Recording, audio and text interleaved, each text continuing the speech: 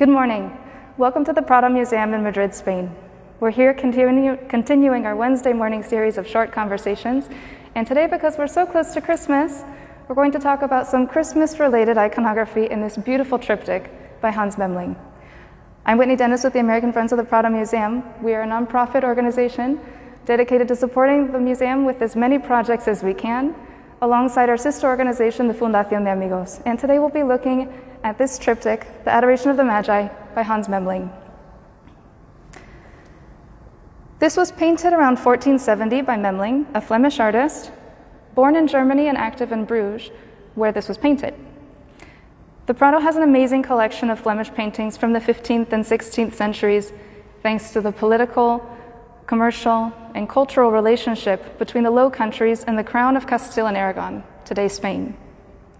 It's a triptych, which is an object made of three panels, and these three panels feature scenes from Jesus' infancy. So in the first panel, we have the Nativity, when Jesus was born.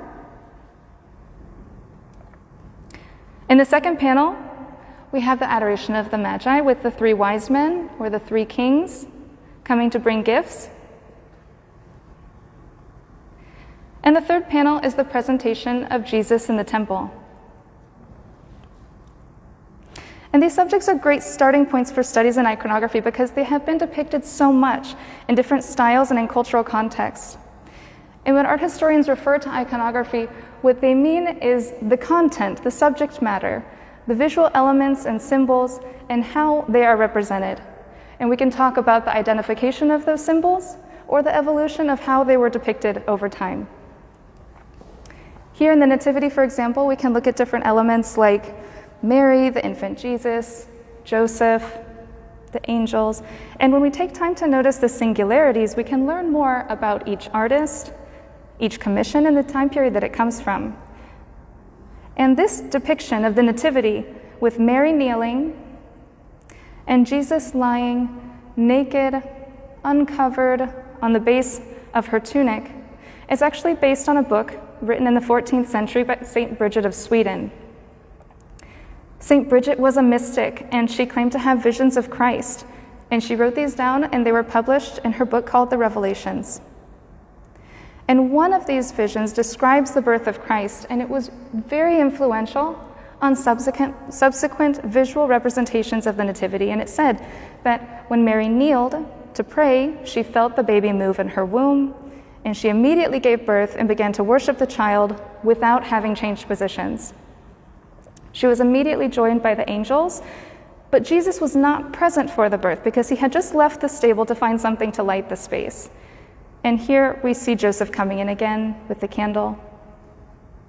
And the candle is also a symbol for the light that was brought into the world with Jesus' birth. The ox and the donkey, the animals that we see, are also almost omnipresent in the visual tradition of the nativity scene. We can always think of the ox and the donkey and the nativity. And they were also mentioned in St. Bridget's account and other apocryphal texts, but no canonical texts, which is interesting.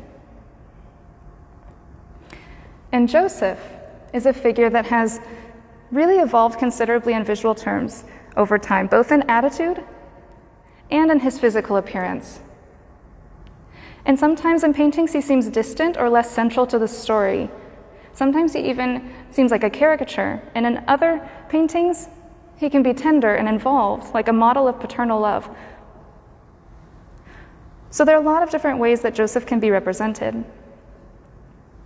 And here in these paintings, he seems like an older man, and maybe even older than we typically think of images of Mary's husband. And this is because this was painted before the Council of Trent. The Council of Trent was the ecumenical council of the Catholic Church that took place in the 16th century, and it addressed different issues of teachings in the church to clarify what would be considered heresy and which doctrines and scriptures and traditions would be permitted. And it had an important effect on art. In the Council of Trent, the church decided to encourage the idea of Joseph at a more appropriate age for fatherhood, and this is why artists started to represent him younger than we see here. This is also one of the earliest depictions in Europe of the Black King. According to tradition, the three kings stood for the three areas of the world Europe, Asia, and Africa, and also for the three ages of man.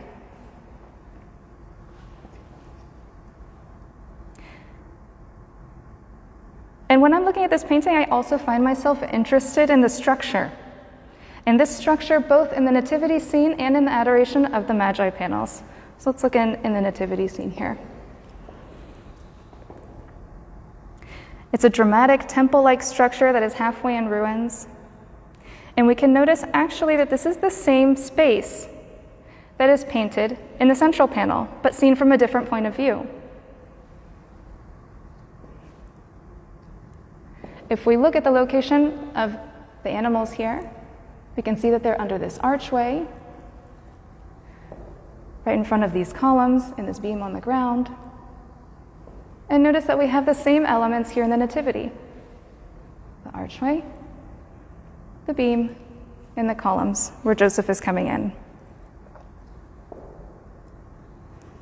We can also notice here in the nativity scene this discrete window that comes around, that it frames the painting,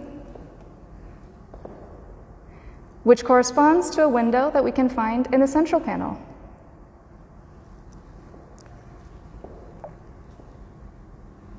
Right behind Joseph,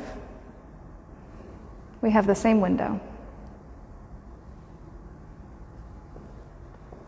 And this gives us a real sense of the space, and it adds to the intimacy of the Nativity as it puts us in the position of an onlooker peering in from the outside. And all this gives us the impression that the artist was really interested in, in architecture, in space, and in perspective.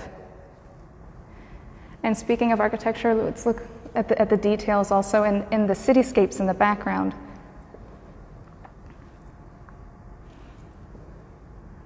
This is not the kind of architecture that we would see in Bethlehem, but these are, we have architecture that is contemporary to the time and the place of the painting in 15th century Flanders.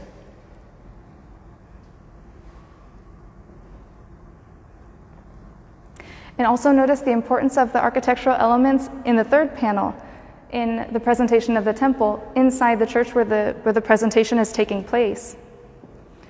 And notice the repetition of these vertical lines, both in the columns and in the folds in the fabric, which really adds strength and monumentality to the scene, and especially to the figure of the Virgin Mary. In Memling's painting, we can see the influence of artists like van der Weyden and the Van Eyck brothers. And this triptych is actually based on another triptych by Roger van der Weyden that is very similar in composition. It's a really beautiful painting, and we could stay here all day looking at every single detail, but we should probably start wrapping up. Um, I encourage you to come see it in person if you can, and if you can't, then you can go to the website to find out more. I hope that you've enjoyed having a closer look at some Christmas related iconography in this triptych by Hans Memling. Thank you for joining, and we'll see you again next Wednesday.